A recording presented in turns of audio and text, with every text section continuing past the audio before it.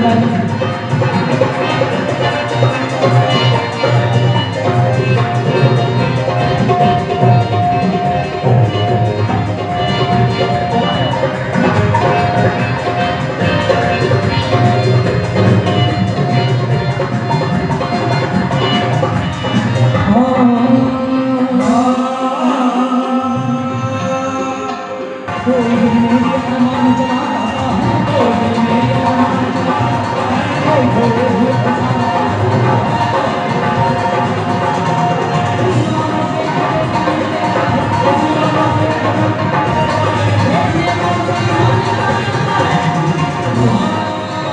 I'm gonna go to the hospital.